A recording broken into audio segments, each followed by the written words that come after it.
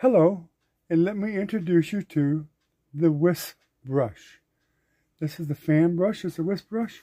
There's also some flat ones like this. Great for working on trees. Let's do one real quick. We got a little picture here with a little tree, and we're going to add some leaves to it.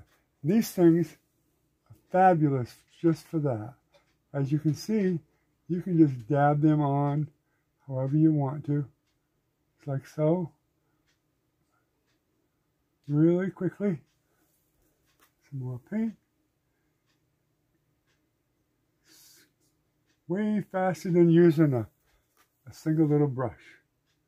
And you can just do the corners of it and the tops.